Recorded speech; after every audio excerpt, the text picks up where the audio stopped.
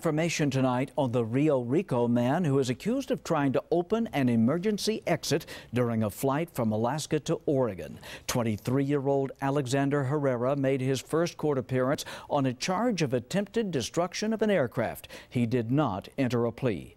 Valerie Cavazos with the latest. Frightening moments in midair. Passengers on Alaskan Airlines flight tackled Alexander Herrera after he tried to open an emergency exit. I could see his face, and he was very determined. He uh, was trying to get that door open. A criminal complaint released today states Herrera told investigators he has been diagnosed as bipolar and has not been taking his medicine, a statement his father confirms. He did not like it. He stopped the medication. He was acting normal. He did not have any more um, manias. Life was okay. Herrera was polite at the start of the flight, but later made claims of being psychic.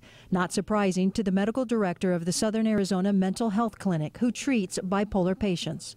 If someone's acutely manic, they, uh, they're at higher risk for being psychotic.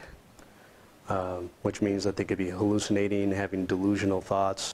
Often detaching from reality. He says bipolar people can behave impulsively. The criminal complaint states Herrera asked a woman seated next to him, What would you do if I opened the exit door? Do they intend to harm others or just through their actions may be dangerous to others? They might not have any intention to harm other people, but maybe because of their poor judgment uh, at the time or delusional thinking. They may act on them even in midair. Residents we spoke to in Rio Rico know little or nothing about Herrera. One resident who went to high school with him described him as weird.